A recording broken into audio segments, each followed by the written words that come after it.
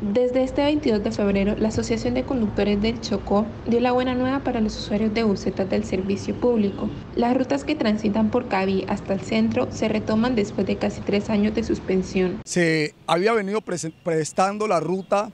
eh, Terminal por Medrano hacia el centro. En este momento, pues eh, en buena hora, las empresas y algunos líderes del transporte hemos decidido a bien eh, reanudar la ruta eh, Cabí,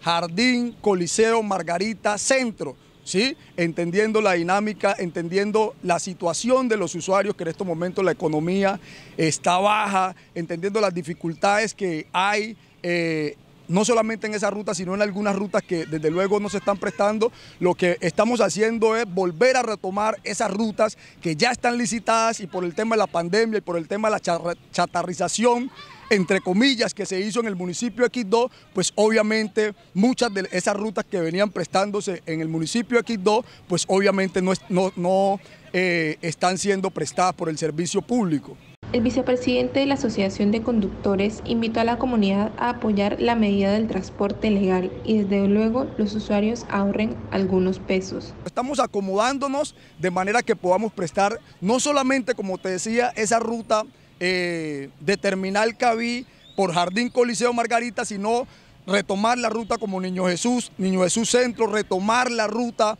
eh, Jardín Aeropuerto, Centro, retomar la, perdón, Medrano, Jardín, Aeropuerto Centro, retomar la ruta Coliseo, Margarita Centro, que es en la circular, Medrano, eh, Coliseo, perdón, bajando por Medrano, Playita Alfonso López y demás. Estamos en aras de mejorar el servicio de transporte eh, en la modalidad de colectivo y desde luego en todas las modalidades.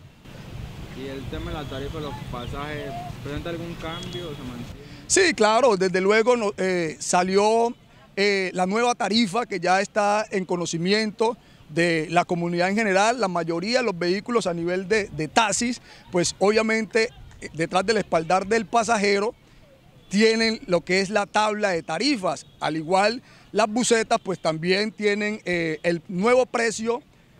de tarifas lo tienen pegado en algún lugar, normalmente vienen en las puertas, o sea que lo que, lo que necesitamos es que se haga, que se visibilice eso